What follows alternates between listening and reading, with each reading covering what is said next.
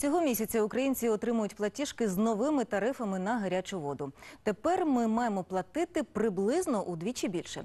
Проте влада кількох українських міст, зокрема Києва, Житомира, Дніпра, Чернівців, ухвалила мораторій на підвищення тарифів. Не знаю, як ви, а я вкрай заплуталася у квитанціях. Одна сума, а посадовці стверджують, сплачувати можна по-старому. Тож платити чи не платити? Мої колеги спробували розібратися. Нова квитанція на гарячу воду дуже здивувала киянку Олександру. Ціна кубометру води у липні зросла удвічі порівняно з минулим місяцем. Если раньше тариф за горячую воду составлял 37 гривен 91 копейка за кубометр, то сегодня она составляет 76 гривен 71 копейка. У меня примерно одинаковый всегда расход воды получается на. И с- И если раньше я платила 379 гривен, то сейчас я должна заплатить 540 гривен. Певно, нові розцінки здивували й київську владу. Аби зменшити тарифний тиск на городян, депутати столичної міськради прийняли мораторій на три місяці заморозити тарифи на газ, світло, тепло та воду, що діяли до 1 липня. Встановити заборону до 1 жовтня 2016 року на введення в дію підвищених цін і тарифів для населення на житлово-комунальні послуги. У документі також зазначено, стежити, аби комунальники та користувачі виконували умови мораторію, має комісія Київради з питань житлово-комунального господарства. Але весь серпень усі члени комісії у відпустці. Еще депутаты еще не вышли, никого нет. Тож чому, попри мораторій у платіжках киян, нова вдвічі більша цифра?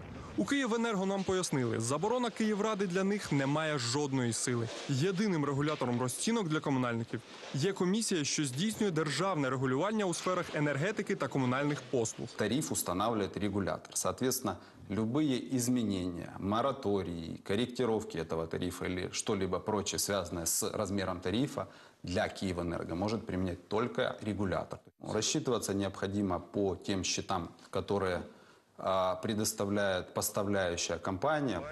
Вся ця плутанина збила з пантелику нашу героїню. Олександра б і не проти платити за старими тарифами, але ризик накопичити чималий борг лякає ще більше.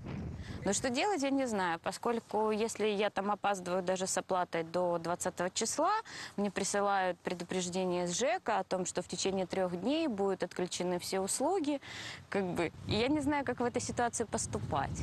Юрист Андрій Жаріков рекомендує людям не дуже сподіватися на мораторій. местная власть, то ли это Киеврада, то ли это какая-то другая рада, она вправе устанавливать только лишь тарифы по вывозу мусора.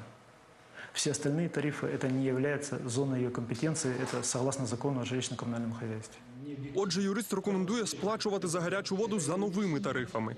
Та припускає, навіть якщо буде доведено, що мораторій все ж таки має силу, швидше за все вам зроблять перерахунок. Цікаво те, що навіть посадовці Київської міської державної адміністрації не дають відповіді, за якими тарифами треба сплачувати за гарячу воду. Послухайте, як на наше запитання відповів перший віце-мер Геннадій Пліс. Дійсно, Ківрада прийняла це рішення, але воно мені здається, це моя думка, більше політичне. І на сьогодні є створена робоча група із фахівців як депутатського корпусу, так і адміністрації е, з тією метою, яким же чином е, заставити її е, працювати.